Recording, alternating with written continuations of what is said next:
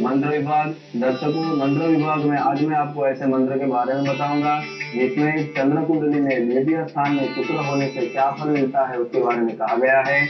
यह मंत्र इस प्रकार से है चंद्राग द्वितीय गो शुक्रो जन्म काले यदा भवे महाधनी महाज्ञानी राजा तुल्यो भवेंद्र अर्थात जिस जातक की चंद्र कुंडली में शुक्र द्वितीय स्थान में होता है या जिस जातक की जन्म कुंडली में शुक्र चंद्र से द्वितीय स्थान में होता है।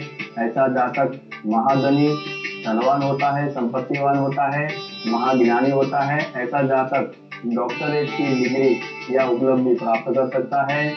और ऐसा जातक राजा तुल्य भवेंद्र यानी कि ऐसे जातक आर्थिक रूप से बहुत ही संपन्न होता है और सामाजिक क्षेत्र में ऐसे जातक का प्रभाव बहुत ज़्यादा होता है। दर्शकों जिस जातक की चंद्र कुंडली में शुक्र, चंद्र से द्वितीय स्थान में होता है, उन जातकों में यह सब बातें देखने मिलती है या नहीं इसका अवलोकन अवश्य कीजिए।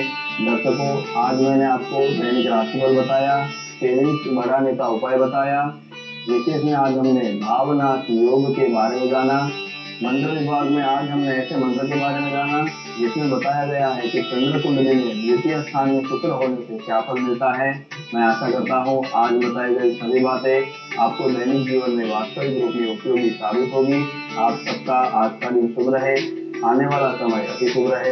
ऐसी आशा और प्रार्थना के साथ में भारत दवे आप सबसे आज्ञा लेता हूँ। ऐसी आशा और प्रार्थना के साथ में भारत दवे आप सबसे आज्ञा लेता हूँ। नमस्कार।